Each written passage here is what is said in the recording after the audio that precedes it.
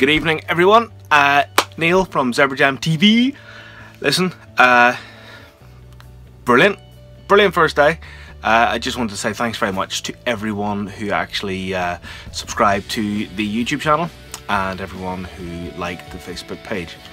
So this is really just a, quick video, just a really big thank you.